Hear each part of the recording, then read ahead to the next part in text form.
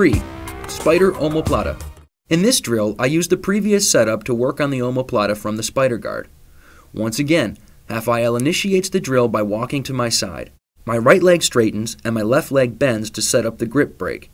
As I break the grip, I swing my hips from left to right and my left knee pushes into the back of Rafael's right elbow. To finish the repetition, I lock the omoplata and grab his belt with my left hand. Then I repeat to either side.